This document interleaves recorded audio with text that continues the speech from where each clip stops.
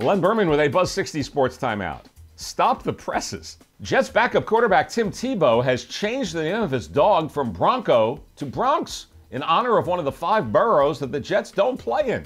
Who cares about the Mark Sanchez Tim Tebow quarterback circus? Hey, this is the really big news. So big that Twitter nearly exploded. Immediately, hashtag rejected Tebow dog name surfaced, and talk about piling on. Tweeters suggested Elway, Peyton, Starter, and the most popular, completion, since Tebow doesn't seem to have too many of those. Several people like Brett suggested Bark Sanchez.